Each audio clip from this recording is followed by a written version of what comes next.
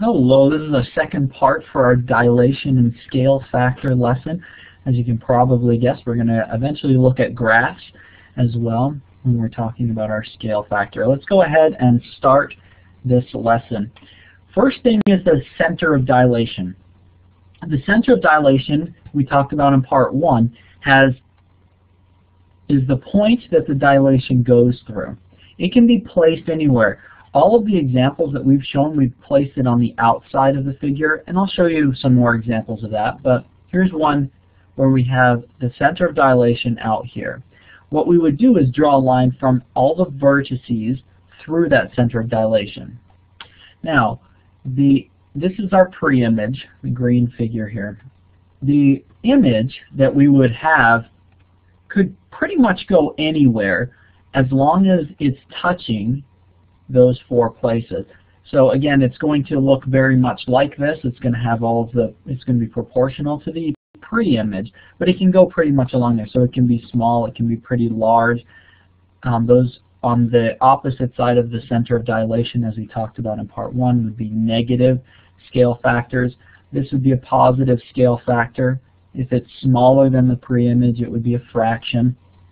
Um, if it's larger than the pre-image, it'll be a number greater than 1, um, the absolute value of a number greater than 1. All right, so let's talk about the places where a center of dilation can be put. First off is outside the figure. We've talked about this. Um, it's every example that we've used for all of part 1 and part 2 so far has had the center of dilation outside of the figure. Here's an example where we have an octagon here, the center of dilation here, and the second octagon here. So actually the green one we've been using as our pre-image, so this would be a negative um, scale factor because it's on the opposite side of the, the center of dilation, and it's larger than the pre-image, so it would be a negative number great, um, less than negative 1, meaning that the number itself is actually bigger than 1.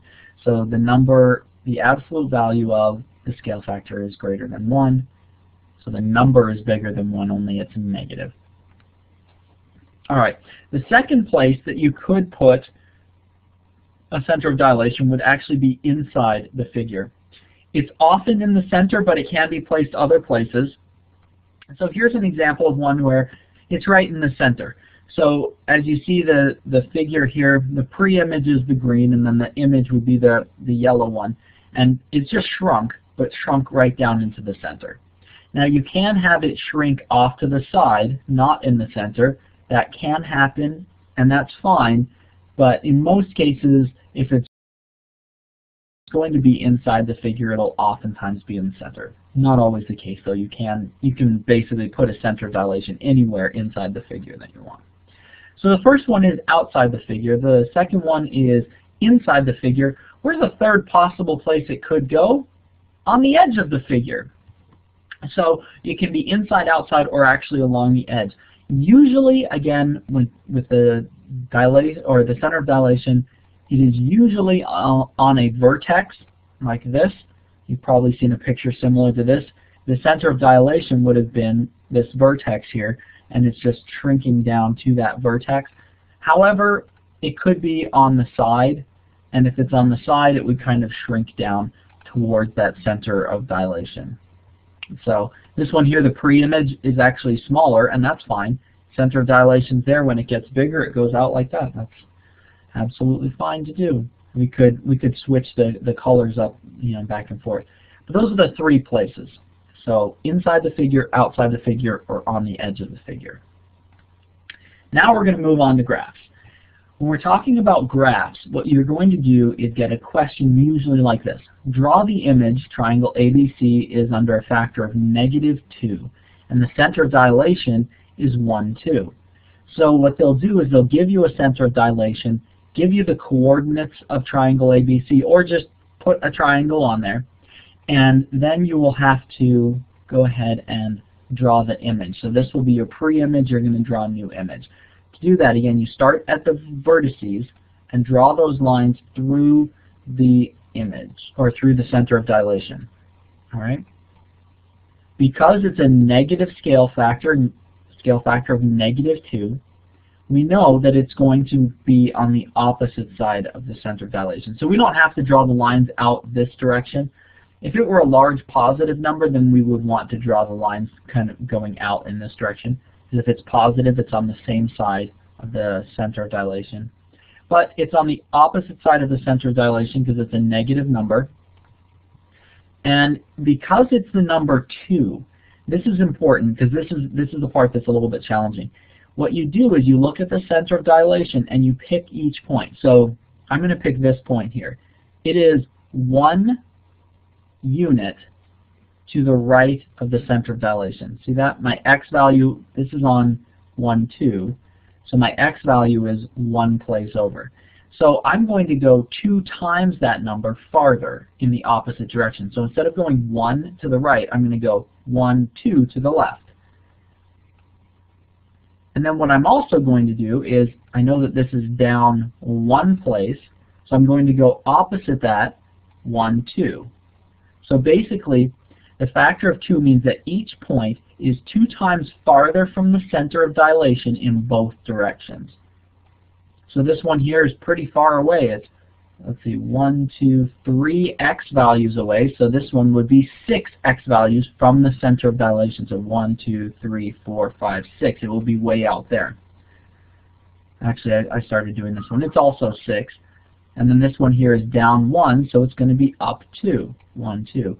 So it's the opposite because it's negative, and then it is um, 2 times that amount because it's a factor of negative 2. Hope that that's making a little bit of sense. And then let's go to our final point here. Again, it's going to line up with this one, and it is 1, 2, 3 points above, so we're going to go 3 points below the center of dilation. 1, 2, 3, 4, 5, 6, because we double it. So it's going to be down there. So 1, 2, 3, 4, 5, 6. And then you could draw the triangle in there of what your image is going to be. So pre-image, center of dilation, image. And the scale factor on this is negative 2. Now, when you have a center of dilation at the origin, this is really great because that means you don't need to draw a graph. All you need to do is multiply because it's, it's centered around 0, 0. The center of dilation is 0, 0 at the origin. So all you have to do is multiply. Let me show you an example. Triangle ABC has the points 1, 2, 2, 3, and 2, 2. Dilate with a scale factor of positive 2.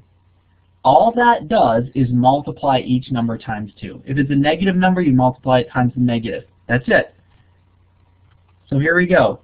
A is 1, 2. So A prime would be 1 times 2 is 2, 2 times 2 is 4. Next one, 2, 3. 2 times 2 is 4, 3 times 2 is 6. Point C, 2, 2. 2 times 2 is 4, 2 times 2 is 4. That's it. And so our new triangle is 2, 4, 4, 6, 4, 4. Because it's the center dilations at the origin, all you have to do is multiply by the scale factor. That's all you do. If the scale factor is negative, you multiply times a negative. If it's positive, you multiply times a positive. That's it. It's really, really, really that simple. Now, I know that there's some skeptics out there who don't believe me, so I'll go ahead and show you using a graph. So here's our original triangle at the point 1, 2, 2, 2, and 2, 3. And I'm going to draw the dots here that I have indicated, 2, 4, 4, 4, and 4, 6 because those are the dots that are indicated by the, the next points here. Now, I'm going to draw that triangle in there. So there's our pre-image and there's our image up here. And to check my work, I'm going to draw the lines through the origin of 0, 0 and check and see whether that works. So this one here is one place away from the origin and it becomes two places. The corresponding point right there becomes two places. Look at that. This one is one two places along the x-axis. This one that corresponds with it is four places. You can do that with the x values or the y values. It works out perfectly. So if you doubted, there's the proof to kind of show that that works. If, you're, if you have the center of dilation at the origin, it's the easiest thing to do. It's really nice. You just multiply by the scale factor. And that is everything. Oh, by the way, if you multiply by a negative, it would be down here. It would cross over and it would work out perfectly. So positive, negative, fractions, um, increasing, decreasing, all of that stuff um, will all work. All right? And that is about all there is with this part two on scale factor and dilation.